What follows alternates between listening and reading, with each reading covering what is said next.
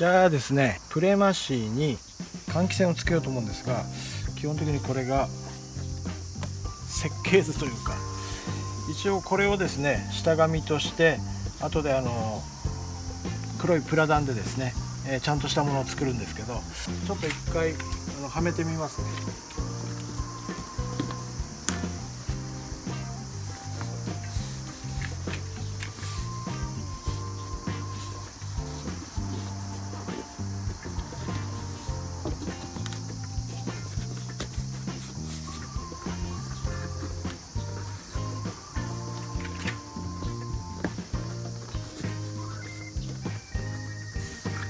ちょうどこんな感じでですね、まあ、窓のですね、え溝ここに一応、まあ、四隅っていうか三隅をですね入れる形になります。こうするとまあ結構丈夫なんでこれがあの先日ご紹介した USB のファンですね。これをね一応場所的にはここら辺かな。ここら辺に入れてですねでちょっと濡れないようにまあ、ちょっとここにひさしかなんかつけてですね。それでまあ回そうとい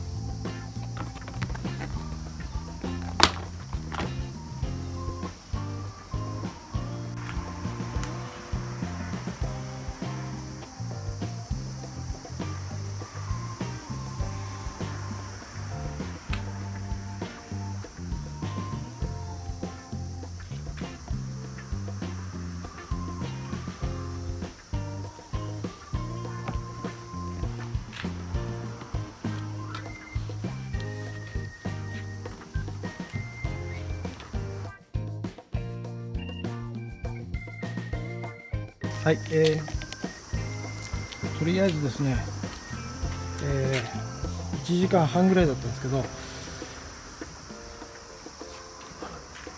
排気システムをですねちょっと作ってみました。これはあのプラダンでこれ雨かかんないようにやったんですけど、まあ、実際こういうふうになってます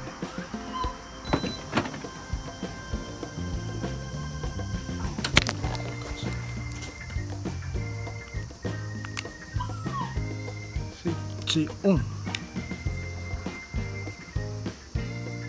こんな感じですね。じゃあ反対側に回ってみます。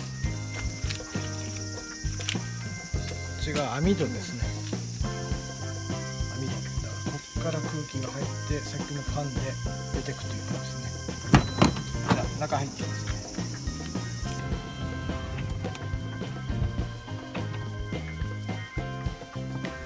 内側から見るとですね感じですね。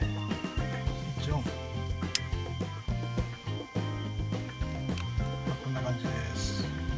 これはねあのモバイルバッテリー、えー、とこう5ボルトの1アンペアで動作するファンなんで一応モバイルバッテリーを置いておきます。ちなみにこれね非常によくできたんですけどポケットをつけたんでまあここにですね。アタッチメントごと入れちゃうのがいいかなと。